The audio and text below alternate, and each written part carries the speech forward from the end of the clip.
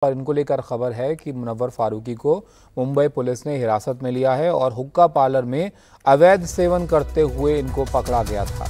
जमानती धारा थी, इसलिए सभी आरोपियों को 41 ए नोटिस जारी कर रिहा कर दिया गया है। दक्षिण मुंबई के हुक्का पार्लर में बड़ी कार्रवाई जो है वो यहाँ पर देखने को मिली थी। यहाँ पर बिग बॉस के जो विजेता है, मुनव्वर फारूकी, उनको भी यहाँ पर हिरासत में लिया गया।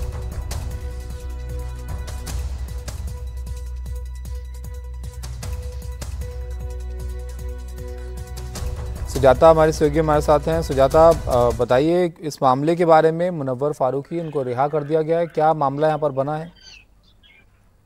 बिल्कुल, देखिए, बीती रात करीब साढ़े नौ बजे का वक्त था जब सबलन द टेस्ट ऑफ़ फॉर्शी मुंबई के फोर्ट इलाके में स्थित इस हुक्का पार्लर में जो है मुंबई पुलिस द्वारा रेड की जाती है। रेड इस टिप पर की गई कि हुक्का के बजाय तंबाकू का सेवन जो है हुक्का पॉट में लोगों द्वारा किया जा रहा था और इस टिप मिलने के बाद से ही मुंबई पुलिस ने सबलन द टेस्ट ऑफ़ वर्षिया इस रेस्टोरेंट में जो है छापेमारी की, जिसमें चौदह लोगों को डिटेन किया गया। चौदह लोगों में से एक बिग बॉस के विजेता और stand up comedian Munawar Faruqui भी है और उन, उन्हें जो है पूछताछ के लिए पुलिस स्टेशन ले जाया गया और इनके खिलाफ एफआईआर भी जो है वो दर्ज किया गया था। इनके समेत मुनवर फारूकी समेत चौदह लोगों पर जो है ये पूरी कार्रवाई दर्ज की गई, जिनमें से एक मुनवर मुनवर फारूकी से भी जो है पूछताछ की गई और ऐसे में तमाम जो पदार्थ मिले उसको लेकर अब भी जो है सर्च ऑपरेशन जारी है उस हुक्का पार्लर में। ऐसे में इकतालीस ए, इस नोटिस, ये नोटिस देकर जो है इस समय सबको रिहा कर दिया गया है। हालाँकि इन्हें इस समय कहा गया है कि जब भी इन्हें पूछताछ के लिए बुलाया जाए, इन्हें दोबारा आना होगा।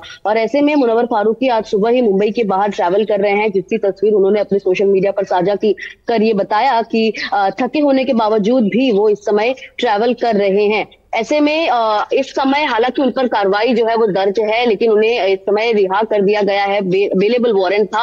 ऐसे में इस समय मुनवर फारूकी समेत उन तमाम चौदह लोगों पर पुलिस की निगरानी है और इस समय मुंबई पुलिस द्वारा ये बड़ी कार्रवाई जो है फोर्ट इलाके में की गई और जिसके बाद से तमाम जो ऐसे हुक्का पार्लर है वहाँ पर इस समय कौन कौन से नशीले पदार्थ मिल रहे हैं इसको लेकर भी जो है पुलिस की कार्रवाई जारी है। जी। तो ये जो हुक्का पार्लर है यहाँ पर ये किनका है? यहाँ पर इजाज़त नहीं थी क्या इसकी? और ये क्या कुछ पदार्थ ऐसे भी मिले हैं यहाँ पर जो नहीं मिलने चाहिए थे वहाँ?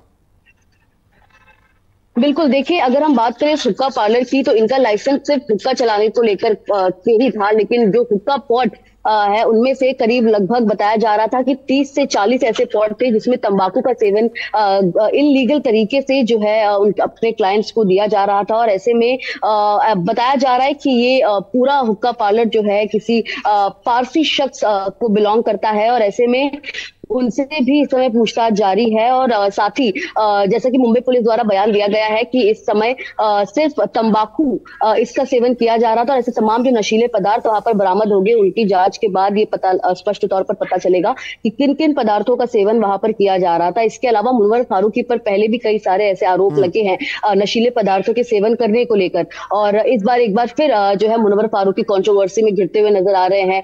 ऐसे तमाम हुक्का पार्लर्स में जो वो विज़िट करते रहते हैं लेकिन सब द टेस्ट ऑफ़ वर्शिया सुक्का पार्लर में पहले भी एक बार रेड पड़ चुकी है और आज uh, जब uh, बीती रात एक बार फिर उस पर रेड पड़ी तो वहाँ पर मुनवर फारूकी भी मौजूद थे अपने uh, कुछ दोस्तों के साथ जिनसे पूछताछ जारी है और साथ ही क्या कुछ पदार्थ वो अपने साथ लेकर आए थे और किन किन नशीले पदार्थ का वहाँ पर सेवन किया जा रहा था इसको लेकर भी जो है इस समय मुंबई पुलिस पूछताछ कर रही है कर चुकी है और सुबह इन्हें रिहा भी कर दिया गया। जी।